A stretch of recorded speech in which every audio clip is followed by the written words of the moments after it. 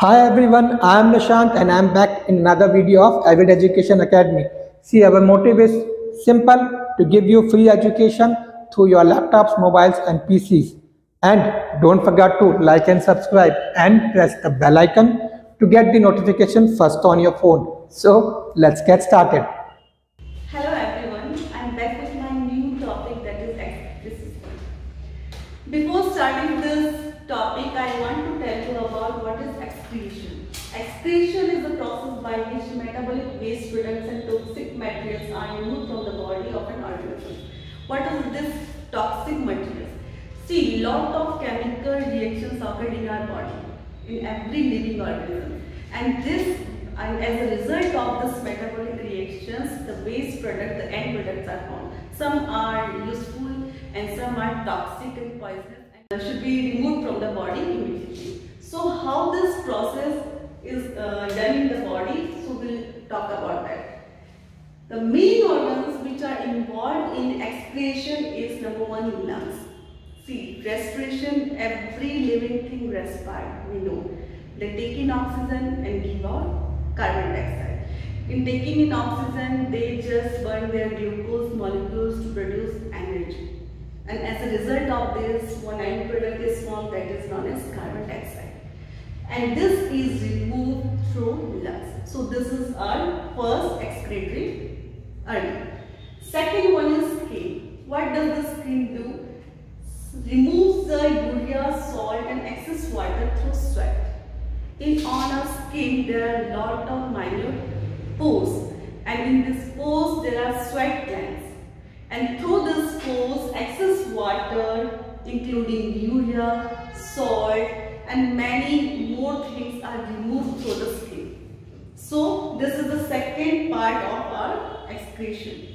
The third and the most important part of the excretory system are the kidneys.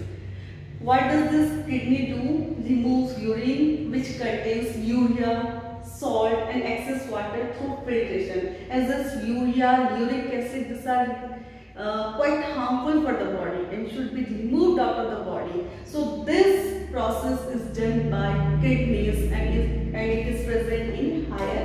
organisms. There is a myth that uh, urea is produced in kidneys. No, this is a myth. It is not present. Uh, it is not produced by kidneys. The urea is formed in liver. Urea is formed in liver. So because ammonia should be converted immediately to urea, that to less harmful So this is converted by liver. Then it is passed to uh, the kidneys for purification. Now this blood containing urea uric acid is passed to kidneys. We have one pair of kidneys which are situated at the lower ab abdomen. So these are bin shaped.